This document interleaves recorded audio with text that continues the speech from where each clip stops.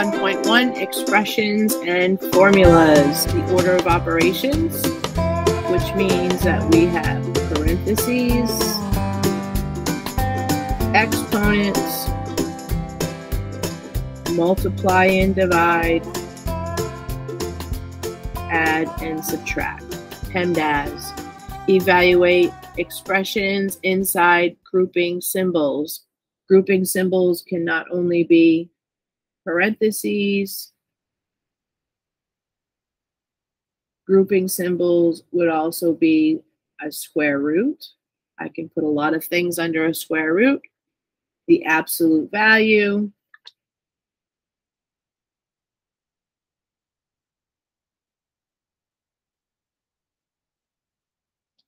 and we also have the division bar.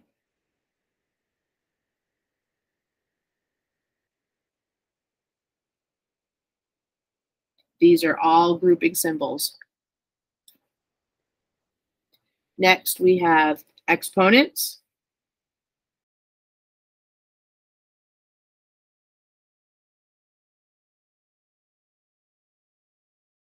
There is your exponent. It can look like that anywhere where you see a power. Multiplying and dividing, remember you need to go from left to right, whichever occurs first. And that would also be true of adding and subtracting, left to right, whichever occurs first. And that also is true for exponents.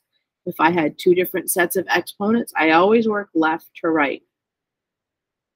Example one, do we have any parentheses? Yes. I see that I have a couple sets of parentheses. I see the square bracket. So I'm looking inside these parentheses. And then I need to start all over. Are there any more parentheses in the parentheses? Yes. This is where I'm starting on the rounded parentheses. I have 18, subtracting 6 plus 4 is 10. I need to keep simplifying inside the parentheses until I have a number. 18 minus 10 is 8. I can drop the parentheses. There's nothing out front being multiplied to it. It's not being raised to a power. So I have 8 divided by 2, which is 4. Example 2, I am asked to evaluate 3x squared plus x times y minus 5 if x equals 3 and y equals 0 0.5. I need to substitute those things in. I have 3 times x is being squared, x is 3, plus x is 3 times y, which is 0 0.5 subtracting 5. I am working on the order of operations. I'm thinking of PEMDAS.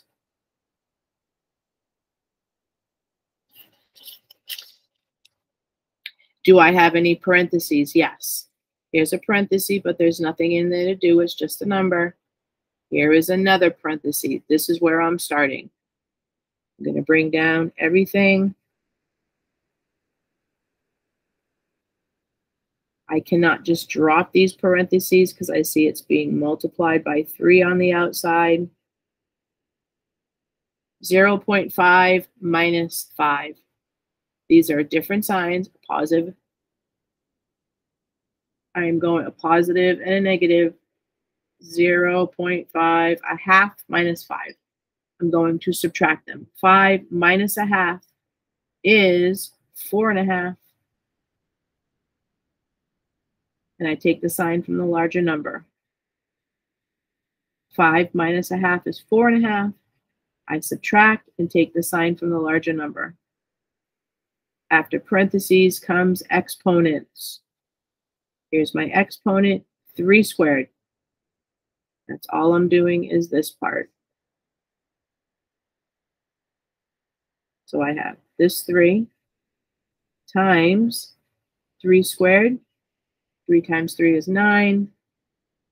Then I have plus 3 times negative four and a half. Are there any other exponents? No. Any multiplying and dividing? Yes. Where do I start? Left to right, whichever occurs first. I start here on the left. I see 3 times 9 is 27 plus 3 times negative 4.5. How do I multiply fractions? I'm going to make this one look like a fraction, 3 over 1, times, if I look at my fraction rules, I would see that I need to change this mixed number to an improper fraction. It's going to be negative, and then 2 times 4 is 8, plus 1 is 9. 9 halves. I'm ready to multiply these together. Get 27 plus, is there any cross canceling? 1 and 9, no. 2 and 3, no. Just going to multiply straight across. 3 times negative 9 is negative 27. 1 times 2 is 2. All right, how do I add and subtract fractions? I need a common denominator. What is the common denominator for make 27 a fraction? 1 and 2. The common denominator is 2. This one already has the denominator of 2, so I just need to change this one. I'm going to multiply by 2. 1 times 2 is 2, so 27 times 2 is 54.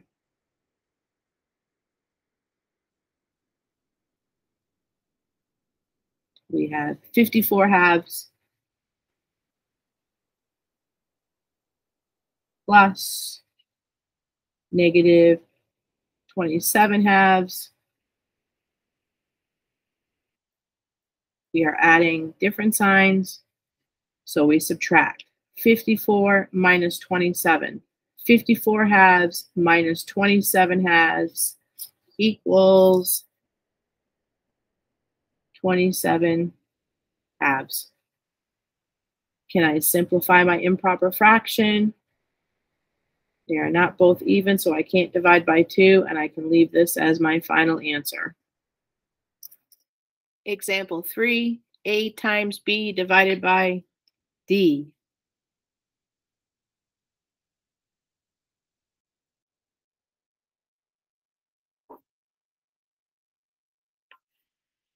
we need to simplify the numerator. The denominator is already simplified. It's just a fraction. 8.2 times negative 3 is going to be negative 3 times 2 is 6. 3 times 8 is 24. There's one decimal place in the problem total, so I need one decimal place in my answer. 8.2 times negative 3 is 24 and 6 tenths divided by negative 1 half. We are we have a decimal that's being divided by a fraction. There are multiple ways to do this problem. I could do all decimals, all fractions. Let's start by negative 24.6. We're dividing by a negative half and how do we divide fractions? We flip and multiply. Negative 24.6 times negative 2 over 1. So really we're just multiplying negative 24 and 6 tenths times negative 2. It's going to be a positive, or I could have just done 24.6 times 2. 6 times 2 is 12 carry the 1. 2 times 4 is 8, plus 1 is 9. 2 times 2 is 4. I have one decimal place in the problem. I need one decimal place in my answer. Our final answer is 49 and 2 tenths. 5 times 6 times C. C is 4 minus 8 times b, which is negative 3, plus 10 times d, which is a negative half. Why did I use square brackets to show multiplication? Because I already had rounded brackets in the problem. Order of operation says that you start with parentheses. Is there anything in the big parenthesis to do? Yes, I have multiplying and subtracting and adding. We know that multiplying comes before adding and subtracting. We have 5 times 6 times 4 is 24. Subtract. Or negative 8 times negative 3 is positive 24. 10 times a negative half. What's half of 10? 5. 10 times a negative half is negative 5. We need to finish simplifying. We have 24 plus 24 is 48 minus 5. Then we have 5 times 43. Excuse my farm hands. I have scrubbed them and it's harvest time. So it is what it is. 5 times 3 is 15. Carry the 1. 5 times 4 is 20, plus the 1 is 215.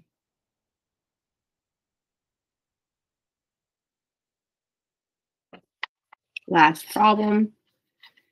We have c squared minus 1 divided by b minus d, which is a negative 1 half.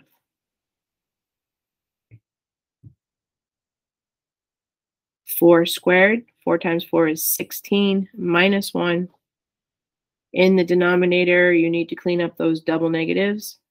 Negative times a negative becomes positive. We have negative three plus a half. Three take away a half is two and a half, and that will be negative two and a half. 16 minus one is 15. And I know that when I divide with fractions, I have to flip and multiply. So I'm going to change this to an improper fraction. We have 2 times 2 is 4, plus 1 is 5 halves. And now I am ready to flip and multiply. 15 divided by negative 5 halves. That's going to be 15 over 1. And when we flip the second fraction, we get negative 2 fifths. Look for that cross canceling, 5 and 15. What do they have in common? They have a common factor of 5. 5 divided by 5 is 1. 15 divided by 5 is 3. And then multiply straight across. 3 times negative 2 is negative 6. 1 times 1 is 1, but I'm not going to put it over 1. Final answer is negative 6.